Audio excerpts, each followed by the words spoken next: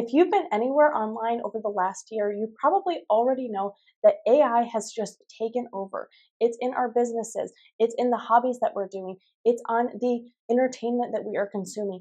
AI is just really everywhere, and I don't think it's going anywhere anytime soon. But in today's video, I'm super excited because there are some really amazing applications to help you actually make more money online. And one of those is in your print on demand business. So in today's video, I'm going to be taking you through start to finish how you can completely use AI from generating the ideas for your t shirt to actually creating the art that's going to go on them. Now, this can save you so much time, leading you to be able to post more designs and to think of things that are going to get more sales, leading to more profit every single month. Now, if you are totally new to the world of AI, that is no problem. These tools are really beginner friendly, easy to use. I am certainly not an expert myself, but I've been able to utilize them in my business in some really fun and easy ways that have been able to save me a lot of time and just really get the gears going when it comes to thinking of new ways I can add interesting things that are going to be profitable to my business. Now, many of you guys have already taken advantage of the free cross niching guide that I have for you guys with over 40,000 different niche combinations that you can use to make new designs for your business.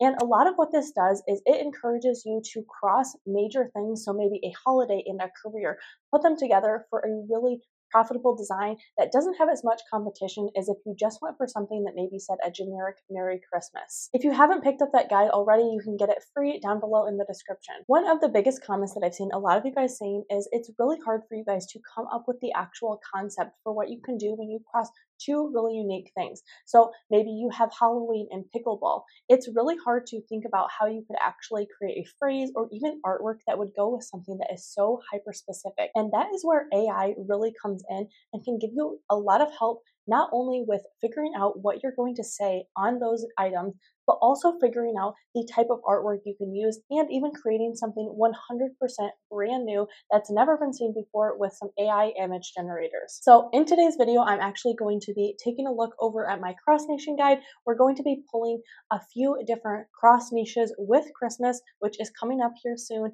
and we're going to be creating 100% AI generated t-shirt designs. So let's jump right over to that guide now. So I have my cross niching guide pulled up now, and if you haven't used this before, it basically just has a bunch of different categories. So we have holiday category, we have also the career category with hundreds of different careers that you can cross with family relation. It also has a bunch of different kinds of pets. So there's not just cats and dogs that you can target in your print on demand business. There's so many other things too. And we also have hobbies, which I think is where I want to concentrate today. So I'm going to be crossing that first category of holidays. I'm choosing Christmas today. And then I'm going to pick out a few of these hobbies and we're going to have some help from ChatGPT to come up with some really amazing phrases to use on these t-shirts. So the first thing that I think I want to cross with that Christmas niche is going to be something that I haven't really designed before, and that is going to be Christmas crossed with like beer tasting or someone who is really into maybe craft beers, making their own beer, or just having beer around.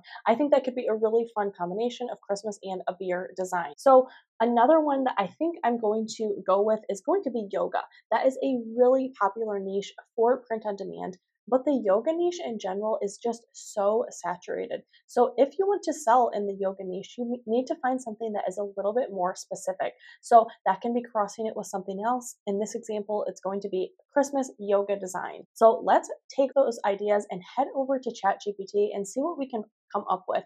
Because right off of the top of my head, if you don't really know about a hobby, it's kind of going to be difficult to come up with a phrase or something on that t-shirt that is really going to stand out to that community. That's why it's really good to use some kind of tool like ChatGPT to give us a leg up and just think of some really fun ideas so we don't have to just rack our brains or scour the internet looking for some really fun and unique phrases. So let's go there now. All right, so I am on ChatGPT. This is a totally free to use website. You just have to sign in and make an account. And if you haven't ever been on chat, the ChatGPT website, you can simply just Google this and it's going to come up really easily. So the first thing I think I want to do is I'm going to give a little bit of context to what I want to be creating here. All right, so I just asked ChatGPT, I said, I am a print on demand seller making t shirt designs. I want to create some shirts that combine both Christmas and a hobby. Can you help me come up with 10 t-shirt phrases for the niche of Christmas and beer? Now I'm going to submit that. Sometimes ChatGPT it is going to give you some ideas that work really well and others that you maybe just have to try again. So you can always ask it to generate more results if you don't get what you're looking for in that very first prompt. Okay, so let's just go through these ones that it came up for me. So the first one is going to be happy holidays, sip, cheer, and spread beer. Now we have jingle beers, jingle beers, jingle all the way. That is very funny. Beer nog, the real reason for the season. Christmas brews, where Santa gets his liquid courage. Have a beery Merry Christmas. Slay my name, slay my name. Feliz Navidad, stay warm, stay cheerful. Yule Fuel, tis the season to drink craft beer. Let's get elfed up the Christmas beer way. Santa knows I'm on the nice beer list. There are some definite winners in there. I do find that a lot of times when I ask for t-shirt phrases and inspiration, sometimes ChatGPT gives me things that are a little bit on the longer side. So a lot of times I might just take the first portion of that. So the ones that kind of stick out to me is maybe have the Beery Merry Christmas. That is very fun. Or Happy Holidays. So I think those are the two I'm going to run with. Now, the next one that we are going to look for some inspiration is going to be with that yoga and Christmas niche. So since I already kind of gave it the prompt for this initial one with ChatGPT, it's going to remember what you previously have asked it. So now I'm just going to have it do the same thing, but in that yoga niche. So I asked it, can you give me 10 more ideas like these, but with Christmas and yoga instead? All right, so it was able to easily generate some more ideas for me for that yoga and Christmas niche. So the first one is Yule, Om, and Joy, finding balance this Christmas. Namaste under the mistletoe, yoga for a Zen Christmas, tree pose in Christmas trees, home for the holidays, unwrap the gift of inner peace this Christmas, Merry Christmas and a side of Savasana, slay the stress with Christmas yoga bliss, yoga jingle all the way, inhale, exhale, celebrate, yoga lights up my Christmas spirit, lotus love for the holidays, Merry Blissmas, breathe in peace, breathe out joy, a yogi's Christmas. So again, a lot of those were a little bit on the longer side, but the one that I think is the clear winner here is going to be Namaste under the mistletoe, and I'm probably going to leave out that like second tagline there. All right, so I have headed over to my design suite that I'm using today, which is Kittl, who has kindly sponsored today's video. Now, if you aren't familiar with Kittl, they are kind of an all-in-one design suite that is really tailored to print-on-demand sellers. Not only do they have tons of amazing design features that make making really professional-looking designs super easy, they have lots of plug-and-play templates that make it easy to create really kind designs super fast.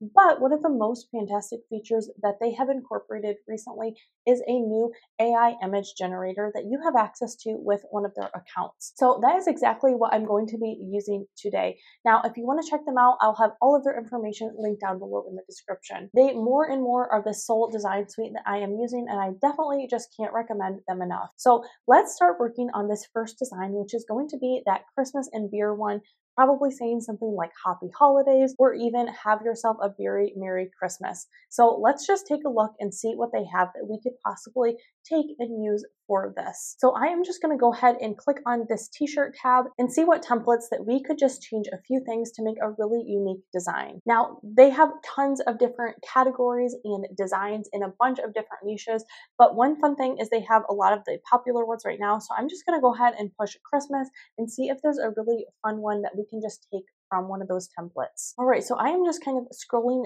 through these Christmas ones until one kind of catches my eye. And all of these, I'm going to change it to use for our purposes. So it doesn't have to be perfect right away because I know I'm going to be adding some new images and changing the text and even maybe some of the colors. So after looking for a second, I think I really like this one. Just kind of the retro vibes that it has. And I think I could come up with a really fun Santa kind of beer themed image that could go right where this one is. So let's use this design. So the first thing I want to do is just go ahead and change what this says. So I'm just going to go ahead and have it say happy holidays. So let's put happy there and then we'll put holidays down here. And the nice thing about on Kittl is they already have formatted all the text for you. You change what it says, you don't have to reconfigure that warp feature. It's going to automatically format that for you. And then let's get rid of this since 1995 and just make this a little bit bigger. Now, as you can see, there's kind of some texture here. I typically for t-shirts, I like to remove that just because I find that sometimes it can print a little bit weird on t-shirts, but that's totally up to you. Now, the next thing I'm going to do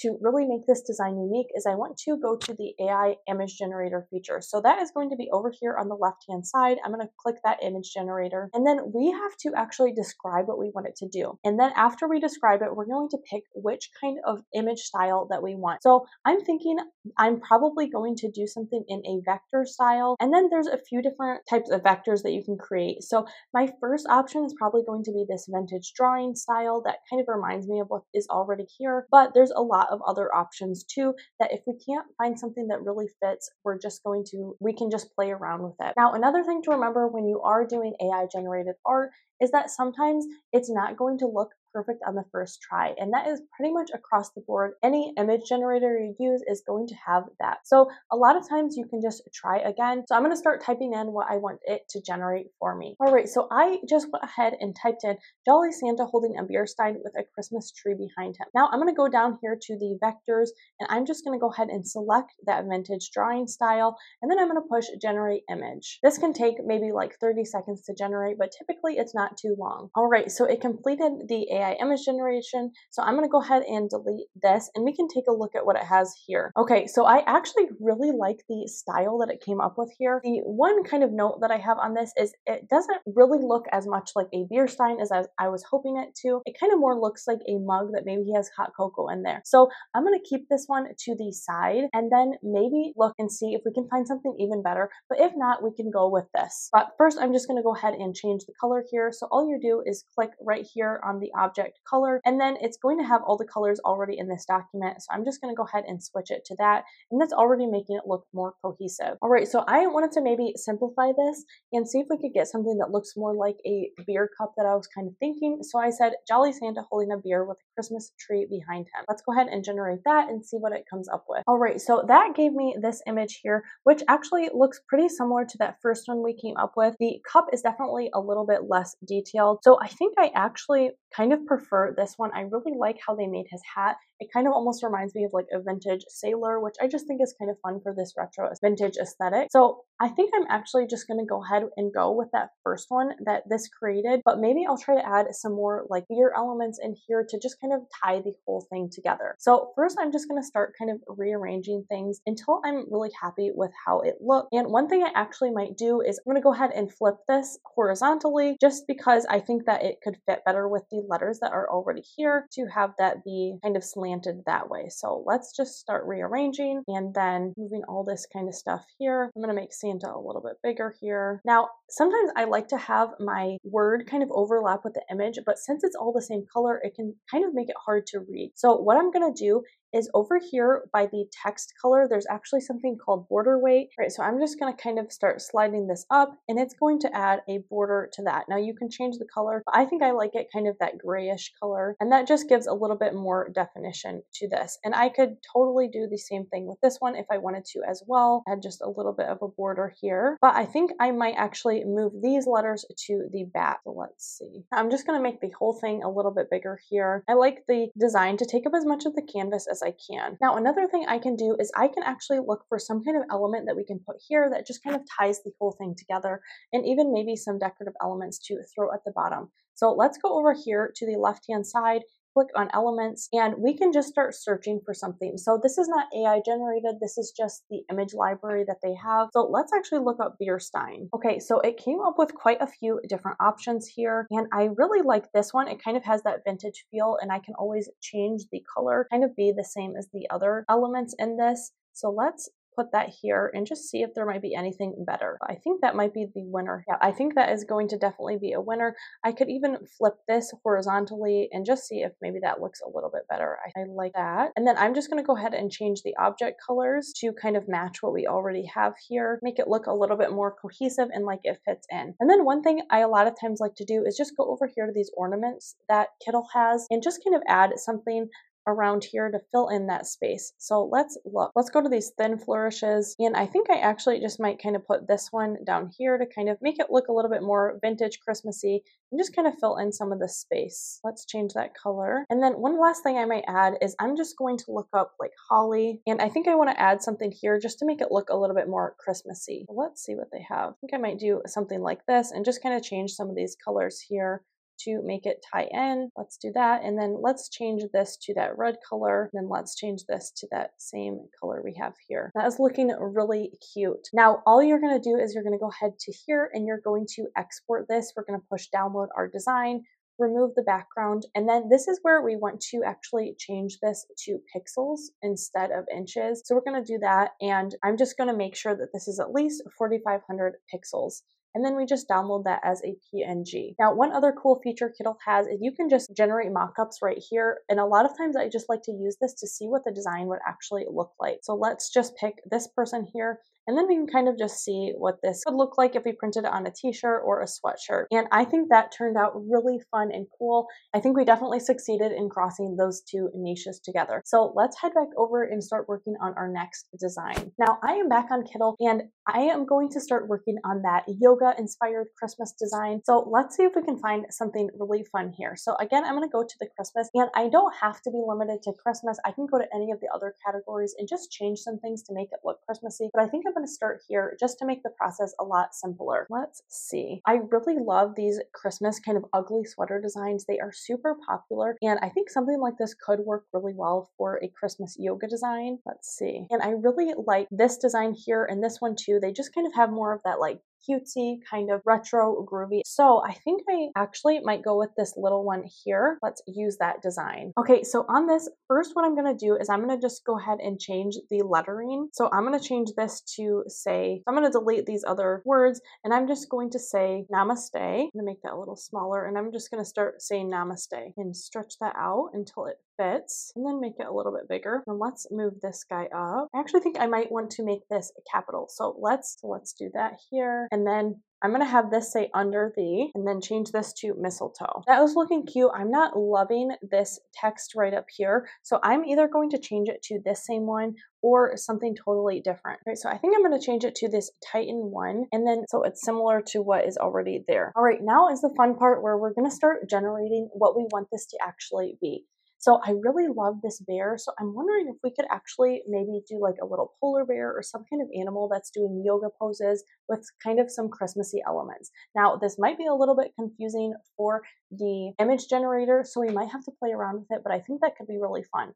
So again, I'm just going over here to the image generator and I'm going to start describing what I want it to sit to be. All right, so I just wrote cute polar bear cub in a downward dog yoga pose next to a Christmas tree. Now I'm gonna go over here to the clip art styles, and I think I'm either going to try this kawaii one or I'm going to try like a t-shirt graphic. So let's go for that kawaii one first, and then if that doesn't work, we can change it up. Okay, so this is what it came up with. Now, it doesn't really look like he's in a yoga pose. So I don't know if it was kind of confused by that. But the first thing I'm going to do is I just want to try it in one of the other clip art styles that's maybe a little more detailed. And maybe that will help us get what we're looking for. All right, so I tried a few different iterations of this. And I think I just had to get a little bit more specific with what I was looking for. And I ended up going with kind of more of like a seated pose and the hands together. I thought that could look kind of like more like yoga. So I ended up saying cute polar bear cub doing yoga, sitting and arms put together in front of chest, chest like praying next next to a Christmas tree. So that ended up giving me this. So I'm going to go ahead and get rid of these other ones that didn't quite achieve what I was looking for. And then what I'm actually going to do is I'm going to first go ahead and remove that background. Okay, next what I'm going to go ahead and do is I'm going to vectorize this image, which is just going to allow me to be able to change a lot of these colors. So I'm going to vectorize it into eight different colors. Now I'm going to go ahead and move this guy over off to the side, but we can always reference those colors here. And I'm going to make this guy a little bit bigger. And then I'm going to start kind of changing some some of these colors. So I think I'm going to do green for that here. This one I'm going to change, right? And I'm going to get rid of this little guy. And then I'm just going to go ahead and move him to that. I'm just going to kind of resize this. All right, and something else I might do to just kind of make this pop a little bit is I can actually go ahead and add a border to this image, which might just make it kind of stand out a little bit more on the page and kind of make it just blend in a little bit more with the kind of other words and elements on this. So I'm just going to do that here. And then that is looking super cute and almost a little bit more cartoonish, which is what I was originally going for. So I'm just going to rearrange this. And then once I'm totally happy with this, I'm just going to go ahead and export it, download my design, and then make sure that this is at least 4,500 pixels and then remove the background and download as a PNG. Now we can see this again on a mock-up. So let's try on her that actually looks like she's kind of doing yoga here and we're just going to kind of resize that until it would be the size that it would actually print. Now that is looking super cute. So if you've been wanting to try your hand at AI designing, coming up with ideas and concepts, I definitely recommend it. So you can check out and try Kittl down below in the description if you never have before. Like I said, I definitely can't recommend them enough.